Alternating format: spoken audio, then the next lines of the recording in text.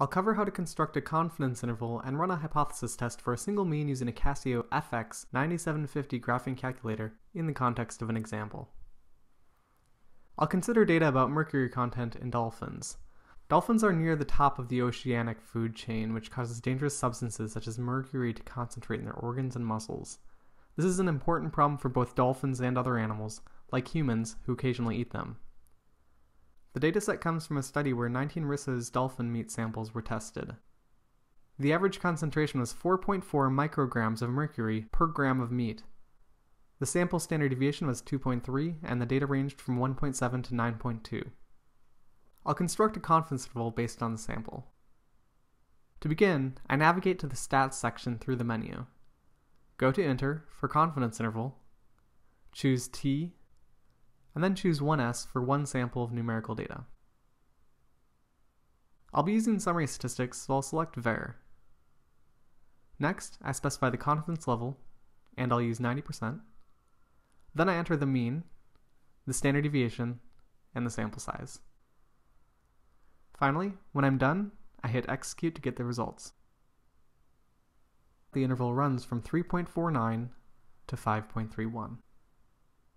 Based on these results, I'm 90% confident that the true average mercury content of muscles in Risso's dolphins is between 3.49 and 5.31 micrograms of mercury per gram of meat.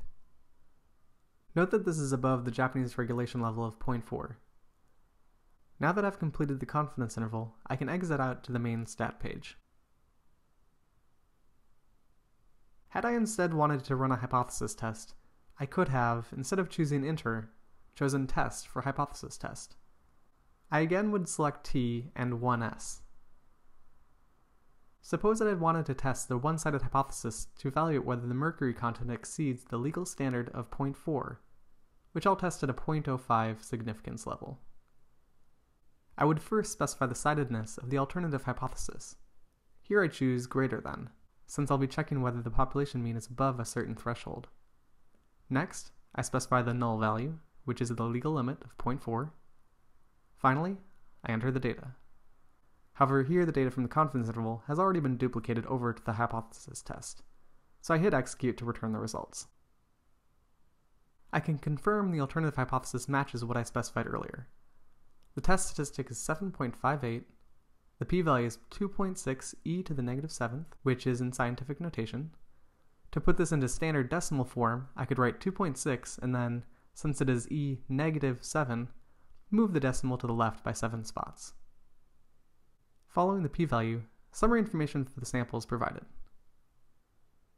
I use the p-value to evaluate the hypothesis test, and since the p-value is smaller than the significance level alpha, I reject the null hypothesis and conclude that, on average, Risso's dolphin meat exceeds the legal mercury limit in Japan, which is consistent with our confidence interval from earlier.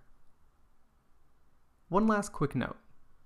In the rare case where the standard deviation for the population is known and not estimated using our sample, that is, if I know sigma, the population standard deviation, then I would choose a z confidence interval or a z test instead of a t confidence interval or a t test.